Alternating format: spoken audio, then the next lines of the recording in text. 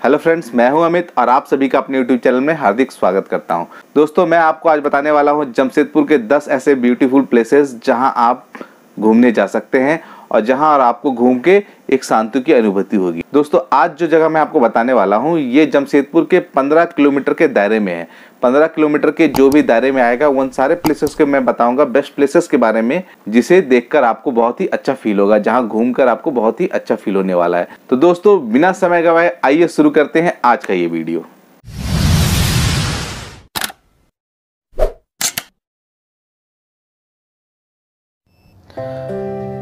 दोस्तों, jubilee park Jamshedpur का बहुत ही फ़ेमस पार्क है।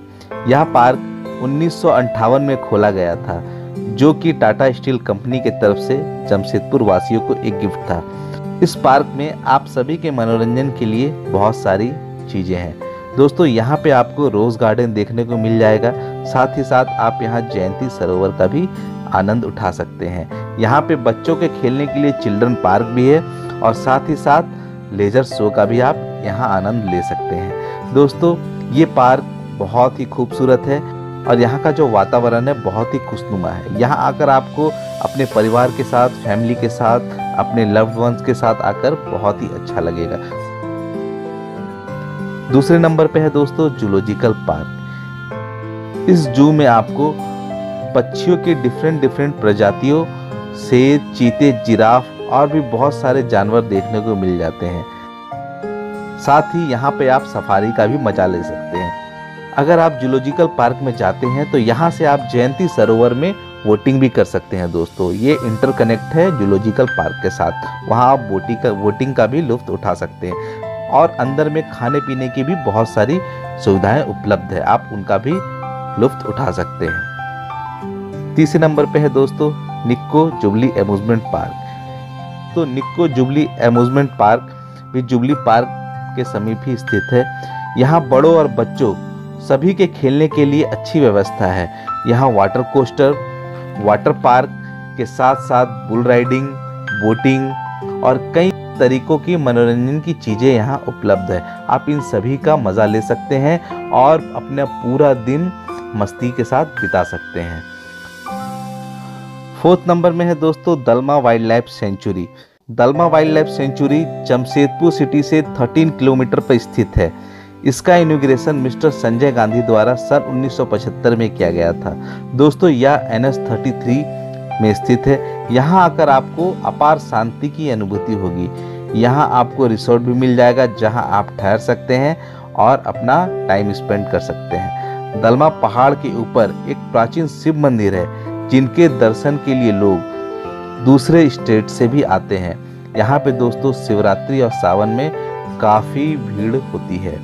और अगर आप यहाँ आना चाहते हैं तो यहाँ आप सावन और शिवरात्रि में भी आ सकते हैं। और अगर आप नेचर का मज़ा लेना चाहते हैं, आप नेचर लवर हैं तो आप कभी भी यहाँ आए, आपको बहुत ही सुख और शांति का अनुभव होगा। दलमा के टॉप से पूरे जमशेदपुर शहर का व्यू आप ले सकते हैं, जो कि बहुत अच्छा लगता है, बहुत ही प्यारा लगता है। दोस्तों, मेरे पाँचवें नंबर पे है डिमनाल लेक। यह लेक दोस्तों, एक बहुत ही खूबसूरत प्लेस है, जहाँ आप अपने friends family and loved ones के साथ अपना ब्यूटीफुल टाइम स्पेंड कर सकते हैं। यह लेक जमशेदपुर से पाँच किलोमीटर दूर है। यह एक पिकनिक स्पॉट भी है और यहाँ दिसंबर जनवरी के महीने में भारी मात्रा में लोग पिकनिक मनाने आते हैं। यहाँ आप अद्भुत नज़ारों के साथ साथ बोटिंग का भी मज़ा ले सकते हैं। यह लेक दलमा हिल्स के किनारे बसा हुआ है और यहाँ पहाड़ों का भी नज़ारा देखने में बहुत ही अच्छा लगता है। छठे नंबर पे जो है, वो है हुटको लेक। यह लेक जमशेदपुर के टेलको कॉलोनी में स्थित है। यह लेक उन लोगों के लिए काफ़ी सही जगह है, जिनको प्रकृति से प्रेम है। हुटको लेक में पार्क और झील का संगम मन को मोह लेता है और पहाड़ी के ऊपर से पूरे शहर का नज़ारा देखने में बहुत ही अद्भुत लगता है, दोस्तों।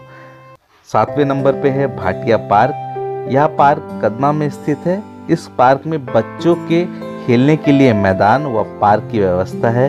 यह पार्क खरकई नदी के किनारे पर बना हुआ है, जो जुस्को द्वारा संचालित किया जाता है और काफ़ी वेल मेंटेन है दोस्तों। जो कि एक बहुत बड़ी वजह है टूरिस्ट अट्रैक्शन की। हमारे आठवें नंबर पे है थीम पार्क यह पार्क दोस्तों हुडको लेक के सामने स्थित है। जो कि काफ़ी बड़े एरिया में फैला हुआ है। यह पार्क पिकनिक के लिए खास फ़ेमस है। यहाँ के टॉप टावर से आप पूरे जमशेदपुर शहर का व्यू ले सकते हैं, जो कि बहुत ही मनमोहक है। और नौवे नंबर पे दोस्तों कोई पार्क नहीं है, ये है एक साईं बाबा का टेंपल हाँ दोस्तों, यह टेंपल सी एच एरिया में स्थित है। यह साईं टेंपल जमशेदपुर का बहुत ही फ़ेमस साईं टेंपल है।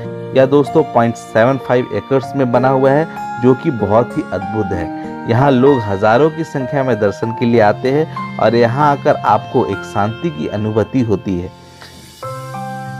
दोस्तों, दसवें नंबर पे है भुवनेश्वरी टेंपल यह टेंपल दोस्तों एक बहुत ही आकर्षक टेंपल है। यहाँ लोग दूर दूर से इस टेंपल की कलाकृतियों को देखने के लिए आते हैं। यह टेंपल बहुत ही प्राचीन टेंपल है दोस्तों। यह टेलको में स्थित है। जहाँ आप बस, ऑटो और अपने व्हीकल से भी आ सकते हैं। यह जमशेदपुर के सबसे ऊँचे स्थान पर स्थित है और यहाँ से आपको जमशेदपुर शहर का नज़ारा बहुत ही आकर्षक लगता है। दोस्तों, ये थे जयपुर के टेन प्लेसेस तो दोस्तों, कैसा लगा आपको ये वीडियो? अगर अच्छा लगा तो मेरे इस वीडियो को लाइक ज़रूर कीजिएगा। और हाँ दोस्तों कमेंट करके भी मुझे ज़रूर से बताइएगा ताकि मुझे पता चले कि आप लोगों को ये वीडियो कैसा लगा। और हाँ दोस्तों, इस बार मैंने 15 किलोमीटर के अंदर का जो प्लेसेस था, उसके बारे में आपको बताया।